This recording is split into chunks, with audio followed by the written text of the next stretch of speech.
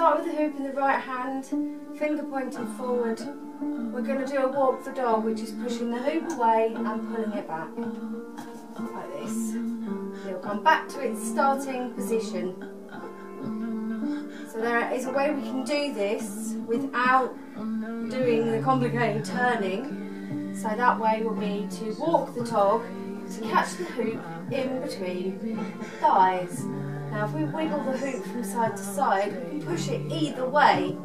Now if I push it round to what is my right, I need to turn round to the left and then I can end up in the same position and pop my right leg into the hoop. This is a classic wedgie position.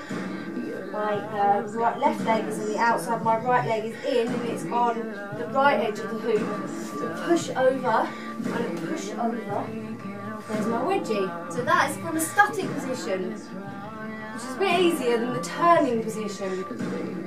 Now if I'm going to turn, I'm going to roll the hoop away, and as it starts coming back, I'm going to turn anti-spin to the hoop. I'm going to go to my left. Turn around like this.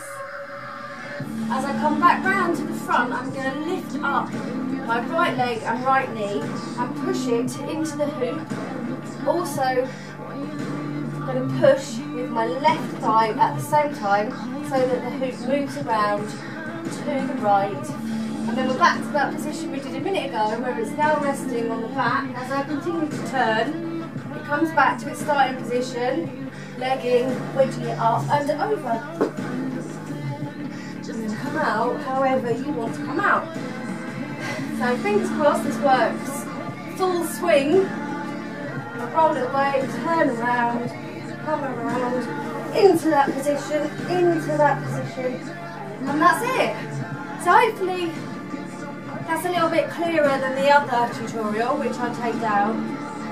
Important things to remember about these wedges, that when the hoop is on the left side of my body, my left leg is out, and my right leg is through, and I'm on the right edge of the hoop. Then, using both my thighs, I'm going to squish it around up and over. Now look, it's on the other side of my body. So now I'm on the left edge of the hoop. My right leg is in front of it and my left leg is in. And that's going to push it up and over. Oh look, I'm on the other side. The sequence here. So things to practice to get used to it is this position where you have the hoop whacking from left to right and choosing to go either way, either if I push it round to the right, to the left, you can use your hands when you get in the hang of it. Leg in, push it over, leg in, push it over. Or if I'm going to the left, I can turn to the right. I can use my hand until I've got the hang of it. Like that. So although it looks complicated, you can slow it right down and it is really achievable. The, the complicated bit is with the roller back, the time and the coming in to get in. See, it's complicated. It's not so much complicated, it's all a matter of timing, whereas this, or